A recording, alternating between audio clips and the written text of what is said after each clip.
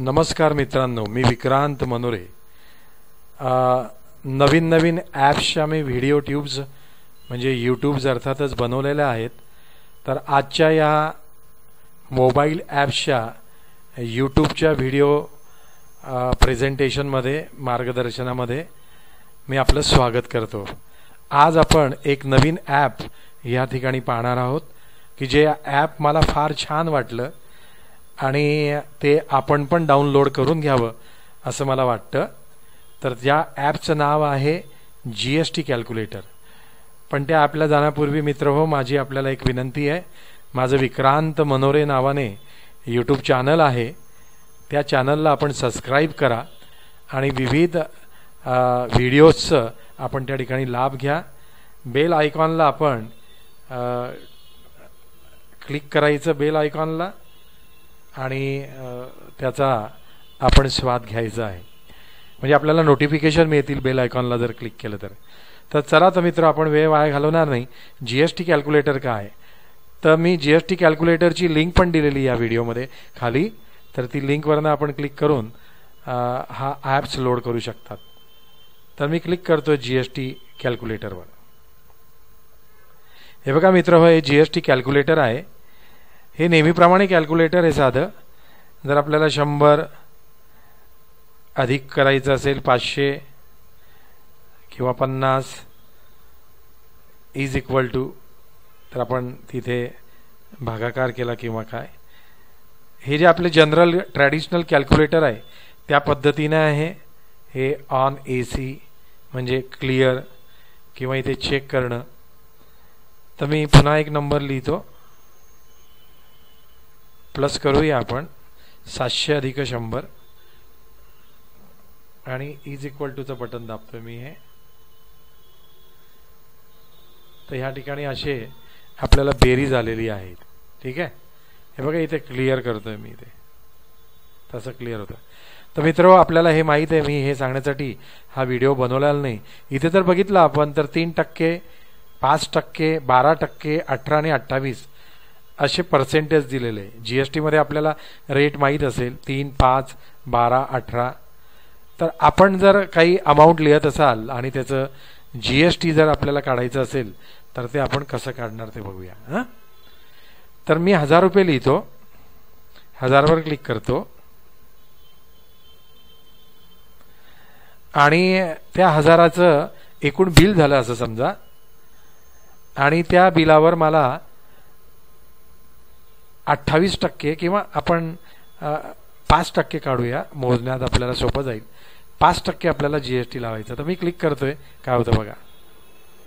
मी ते क्लिक केल्यानंतर आपल्याला एक हजार पन्नास रुपये बिल आलं आणि या ठिकाणी त्यांनी लिहिलेलं आहे सी जी एस टी आणि एच जी एस टी हे पंचवीस रुपये आहे आणि आय जी एस टी हे पन्नास रुपये तर आपल्या हजार रुपयावर पन्नास रुपये कसं आलं?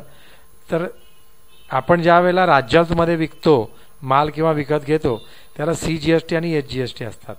Central goods and service tax and state goods and service tax म्हणजे ते पंचवीस पंचवीस रुपये. म्हणजे पाच टक्क्यांमध्ये हे पाच टक्के जर एकूण असेल तर हे अडीच टक्के अडीच टक्के. असे एकूण पाच टक्के हे अमाऊंट इथे आलं. म्हणजे सी जी एस टीचे पंचवीस रुपये वेगळे आणि एच जी एस टीचे पंचवीस वेगळे. म्हणजे पंचवीस अधिक पंचवीस पन्नास झाले. आपण हजार रुपयावर जी एस टी विचारला पाच टक्क्याप्रमाणे. तर तो एक हजार पन्नास आला. हा वरती इंटरस्टेट जी एस टी आहे. हा पन्नास रुपये डायरेक्ट दाखवतो. याचा अर्थ असा आहे की जर आपल्याला बाहेरच्या राज्यात माल विकायचा असेल किंवा विकत घ्यायचा असेल तर आपल्याला फक्त आय जी एस टी हा टॅक्स लागतो. याला इंटरस्टेट किंवा integrated goods and service tax म्हणतात. तर किती सोपं आहे. मी हे क्लिअर करतो. आपण वीज वीस अठ्ठावीस टक्के येतो का बघूया पहिले. समजा तुमचं बिल झालं आहे चार हजार रुपये काही ॲटम घेतला त्याने आणि अजून एक ॲटम घेतला दोनशे रुपयाचा तर आपलं बिल टोटल सहाशे रुपयाचं झालं. तर सहाशे रुपयावर तुम्हाला अठरा टक्के टॅक्स लावायचा आहे. तर सरळ अठरावर क्लिक करायचं आपण. तर कॅल्क्युलेटरमध्ये त्यांनी दाखवलेलं आहे की आपल्याला एकूण चोपन्न रुपये टॅक्स लागलेला आहे. आणि मूळ प्रिन्सिपल अमाऊंट धरून चोपन्न अधिक मूळ प्रिन्सिपल अमाऊंट असं मिळून सातशे आठ रुपये झालेला आहे. आणि हा एकशे आठ टोटल त्याच्यामध्ये मिळवला आहे. म्हणजे सहाशेमध्ये एकशे आठ मिळवले असे सातशे आठ झालेत. आपल्याला समजतं? सोपं आहे. फक्त इथे जी अमाऊंट येते ती अमाऊंट विथ टॅक्स येते. मग तुमचा बारा टक्के असू द्या पाच टक्के असू द्या. मी तीन टक्क्यावर जर क्लिक केलं तर सातशे एकोणतीस रुपये झाला मी अठ्ठावीस टक्क्यावर जर क्लिक केलं तर ह्या ठिकाणी नऊशे तेहतीस म्हणजे असे टॅक्स बदलत जातात असं मला सांगायचं आहे तर मित्र मला हे फार आवडलं म्हणून मी आपल्याला हे व्हिडिओ मार्गदर्शन करतो आहे जी एस टीच्या व्यतिरिक्त या कॅल्क्युलेटरमध्ये मला अजून काही एक आवडलेलं आहे ते म्हणजे असं आहे की इथे जर आले आपण तर आपण लोन कॅल्क्युलेटर म्हणून आपण लोन कॅल्क्युलेटरला क्लिक करूया. इथे आपली लोन अमाऊंट टाकूया आपण. समजा पन्नास हजार रुपये लोन घेतलं आपण. आणि आपल्याला लोन सांगताय की दहा टक्क्याप्रमाणे दर साल दर सेकडाप्रमाणे दहा टक्के तुमचं हे आहे व्याजाचा रेट आहे. आणि तुम्ही जे लोन घेतलेलं आहे ते दोन वर्षासाठी घेतलेलं आहे महिने झिरो झिरो तुम्हाला महिने झिरो झिरो इथे दोन वर्ष ठीक आहे? तर मग मी काय करतो आता इथे? आपण कॅल्क्युलेट करू आणि काय होतं बघूया. तर त्याने सांगितलेलं आहे की तुमची लोन अमाऊंट आहे पाच हजार रुपये. तुम्हाला इंटरेस्ट दहा टक्क्याप्रमाणे एकूण म्हणजे तुमचे पिरियड चोवीस. चोवीस म्हणजे दोन वर्ष म्हणजे महिन्यामध्ये दिलेले मंथमध्ये दिलेले. आणि तुम्हाला जो काही टोटल हे जे लागलेलं आहे काय म्हणतात त्याला ई एम आय जो लागलेला आहे तर दोनशे तीस रुपये आपल्याला ई एम आय भरायला लागेल. टोटल इंटरेस्ट तुमचा पाचशे सदोतीस रुपये झाला.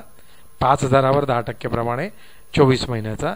आणि टोटल पेमेंट तुम्हाला पाच हजार न करता पाच हजार अधिक आपला टोटल इंटरेस्ट म्हणजे पाचशे सदोतीस. तर पाच हजार पाचशे सदोतीस अशी टोटल अमाऊंट भरायची. मित्र मला सांगायचं हे आहे याच्यामध्ये की आपल्याला मंथली ई एम आय काढला बघा त्यांनी. आपल्याला मंथली एम आय म्हणजे मंथली आपल्याला किती पेमेंट करायला लागेल? दोनशे तीस रुपये आणि बहात्तर पैसे ज्याला आपण पाच हजार रुपयाचं दहा टक्क्याप्रमाणे दोन वर्षासाठी जर लोन घेतलं तर. मी रिसेट करतो. आणि आपण वेगळी अमाऊंट टाकूया. समजा दहा हजार रुपये. समजा इंटरेस्ट रेट आहे पुन्हा एक वेळा दहा टक्के तुम्ही किती असेल तो टाकू शकतात. मी इथे वर्ष घेतो तीन. आणि इथे महिने घेतो पाच. म्हणजे तीनचे बार्त्रिक छत्तीस महिने आणि अधिक पाच. म्हणजे एक्केचाळीस महिने होतील मित्र. तर आपण त्याला विचारूया. की मला किती रुपयाचा ई एम आय लागेल? कॅल्क्युलेटरवर जर क्लिक केलं तर त्याने आपल्याला हे सांगण्याचा प्रयत्न केलेला इथे की आपल्याला एकूण ई एम आय जो लागणार आहे तो अठ्ठावीस रुपये एकोणनव्वद पैसे मंथली ई एम आय हजार रुपये घेतले फक्त बरं का आपण दहा हजार नाही आहे आणि टोटल इंटरेस्ट तुमचा एकशे चौऱ्याऐंशी रुपये झाला आणि टोटल पेमेंट तुम्हाला एक हजार एकशे चौऱ्याऐंशी करायचं आहे तर मला हे लोन कॅल्क्युलेटर फार आवडलं की ई एम आय कसा काढतात त्याबद्दल. अन्यथा भरपूर कॅल्क्युलेटरवर करावं लागायचं. इथे डायरेक्ट आपल्याला इतकं सोपं आहे इझी फ्रेंडली युजर आहे. मी अजून एक गंमत दाखवतो या लोन कॅल्क्युलेटरमध्ये ते म्हणजे युनिट कन्व्हर्टर युनिट कन्व्हर्टर म्हणजे काय? की आपल्याला बऱ्याच वेळा काही इंजिनियर्स असतात काही हे असतात काय म्हणतात आर्किटेक्चर्स असतात किंवा काही बांधकाम क्षेत्रातले असतात किंवा काही मोजमापपैकी असतात. तर आपल्याला युनिट माहीत नसतं नेमकं काय किंवा कसं. तर समजा आपल्याला एक युनिट काढायचं समजा आपल्याला एरिया मोजायचा आहे. तर मग मी एरियावर क्लिक केलं. तो म्हणतोय की तुम्हाला एरिया कशामध्ये मोजायचा? तर मला फार आनंद होतो आहे सांगताना. बघा किती एरिया दिलं. एकरमध्ये मोजायचा स्क्वेअर यार्डमध्ये मोजायचा स्क्वेअर फूटमध्ये मोजायचा. मला स्क्वेअर किलोमीटरमध्ये मोजायचं आहे समजा. किंवा आपल्याला एरिया बरं ठीक आहे. स्क्वेअर फूटमध्ये मोजूया आपण हां. व्हॅल्यू किती आहे? समजा एक हजार आहे. तर आता एक हजार व्हॅल्यू असलेला एक हजार काय आहे पण ते? स्क्वेअर फूट आहे. ह्या एक हजार स्क्वेअर फूटचं आपल्याला कन्व्हर्शन करायचं आहे समजा तुम्हाला कोणी सांगितलं की एक हजार स्क्वेअर फूटचं यार्डमध्ये कन्व्हर्शन करा. स्क्वेअर यार्डमध्ये. तर मी स्क्वेअर यार्ड सिलेक्ट करेल तर त्यांनी लगेच सांगितलं बघा या ठिकाणी किती छान आहे. त्यांनी सांगितलं आहे की एकशे अकरा पॉईंट एकशे अकरा. आता हा लकी नंबर आला. हजार स्क्वेअर फूटचा स्क्वेअर यार्डमध्ये जर रूपांतर केलं तर एकशे अकरा पॉईंट एकशे अकरा स्क्वेअर यार्ड होतील ते. वन स्क्वेअर फूट म्हणजे point one one one one square yard. ही सुद्धा माहिती त्यांनी या ठिकाणी आपल्याला दिलेली आहे. तर अशा पद्धतीने इथे आपल्याला दिलेला आहे. आपण पुन्हा त्या एरियाकडे जातो आहे. तुम्हाला लिंक काढायची असेल समजा टेम्परेचर मोजायचं आहे आपल्याला. जनरली टेम्परेचर पण मोजलं जातं. समजा सेल्सिअस आहे. समजा पन्नास सेल्सिअस टेम्परेचर मोजायचं आपल्याला.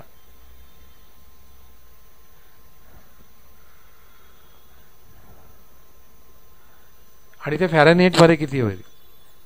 तर आपण कॅल्क्युलेटवर जर बटन दाबलं तर आपल्याला एकशे बावीस फॅरनहीटमध्ये होईल. आणि त्याने दिलं आहे की एक सेल्सिअस म्हणजे तेहतीस पॉईंट आठ फॅरनहीट तर अनेक कन्व्हर्शन आहे मित्र होते एरिया आहे लेंथ आहे temperature volume mass speed fuel consumption fuel consumption आवडेल आपल्याला मला सांगायला काही हरकत नाही.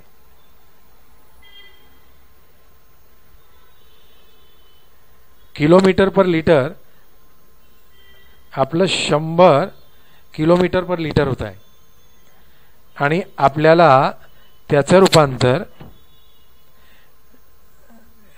एम पी जीमध्ये करायचं आहे. मोजण्याचं एकक आहे. तर बघा त्याने सांगितलं रिझल्ट आहे. कॅल्क्युलेट जर केला आपण रिझल्ट आपण कॅल्क्युलेटरचं बटन न दाबता आपल्याला रिझल्ट मिळत असतो. तर असे अनेक आहे. पुन्हा मी आपल्याला त्या कॅल्क्युलेटरवर घेऊन जातो.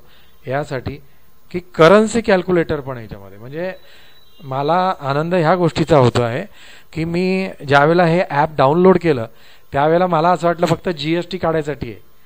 तर मी जी एस टी काढलं आणि थोडासा नाराज होतो. पण मी ज्या वेळेला मेनूवर क्लिक केलं त्यावेळेला मला ह्या सगळ्या गोष्टी मिळाल्या आणि म्हणून मला आपल्याला आपल्याशी शेअर करण्यासारख्या वाटल्यात. तर करन्सीचं कसं आहे की समजा एक डॉलर आहे तर तुम्हाला ह्या एक डॉलरचे इंडियन करन्सीमध्ये किती होतात ते बघायचं आहे. तर त्याने डायरेक्ट सांगितलं इथे लिहायचं नाही मित्र आपल्याला. इथे लिहायचं नाही आहे इथे फक्त डी डॉलर टाकायचा. आपण दोन डॉलर करू बरं. पहा बरं काय होतं. सॉरी एकशे बेचाळीस. मला अजून एक आनंद होतोय की आपण ऑनलाईन जर असाल तर हा जो रेट आहे ना हा करंट रेट मिळतोय बरं का आपल्याला डॉलरचा एकाहत्तर या क्षणाला एक डॉलरची इंडियन रुपीजमध्ये इंडियन रुपीजमध्ये किंमत काय? एकाहत्तर रुपये बावीस नये पैसे. किंवा फाईव्ह झिरो झिरो थ्री आपण इथे युनायटेड स्टेटवर क्लिक करूया. हे बघा किती इथे दिलेलं आहे. समजा तुमच्याकडे चायनाचं काही हे आहे.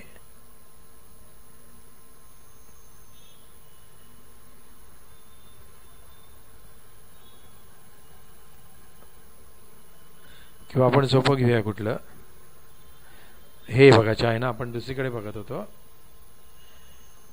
चायनाचा एक रुपया जो आहे चायनाचा तो किती झाला बघा? दहा रुपये. डॉलर निश्चितच जास्त चायना कमी आहे. एक चायनाची किंमत एक एनची किंमत वाय फॉर एन. तर एक एनची किंमत होते दहा रुपये पॉईंट झिरो फोर पैसे. तसं करन्सीमध्ये आपल्याला रूपांतर करता येतं. हे पण मला आवडलं. त्यानंतर आपण जातोय एज कॅल्क्युलेटरकडे. शेवटचं ॲप्लिकेशन आहे. एज कॅल्क्युलेटरमध्ये नेमकं काय होतं? की आपला जन्मतारीख आणि आजच्या तारखेमध्ये आपल्याला हे माहीत नसतं किती दिवस झाले. आपल्याला विचारतं कारण तू किती दिवसात किती महिन्याचा आहे? की महिन्याचं म्हणता येणार नाही. कारण तुझं वय काय? किती वर्षाचं आहे? तर साधारणतः मनुष्य किंवा जी काही व्यक्ती असेल ती वय अंदाजे सांगतं अठरा वर्षाचं आहे एकोणीस वर्षाचं आहे. पण आपण जर विचारलं की मला एक्झॅक्टली सांग. त्याच्यामध्ये महिने किती आहे आणि दिवस किती आहे. तर ते सांगणं त्रासदायक होतं. पण ह्या जी एस टी कॅल्क्युलेटरमध्ये मिळेल. मी एक तारीख टाकतो इथे. समजा एकाची जन्मतारीख आहे. आपण काहीतरी दोन हजार पाच घेऊ. इथे महिना टाकायचा असतो. समजा हा ऑगस्ट महिना आहे. बघा इथे बदलतोय. इथे बदलतोय. जुलै सतरा आपण दोन हजार पाच घेतलं. हे डार्क म्हणजे सिलेक्ट केलं. ओके करायचं नंतर. पहिली तारीख आली. Sorry sorry I am very sorry ही तारीख आजची टाकायची आहे मित्र हो. आजची तारीख आपोआप घेतली असती आपण डिस्टर्ब केली ती. एकोणीस आणि हा आहे.